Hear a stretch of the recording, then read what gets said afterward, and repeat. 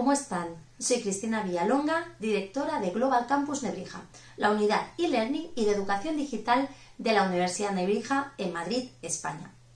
El próximo 19 de marzo impartiré un webinar organizado por el Consorcio Hispano de Servicios de Tecnología Educativa.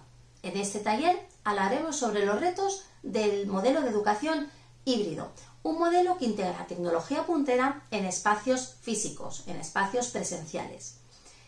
Si quieren saber más y quieren inscribirse de manera gratuita a este taller, pueden hacerlo a través de la página web de heads.org. Les espero y espero que podamos compartir muchas experiencias juntos.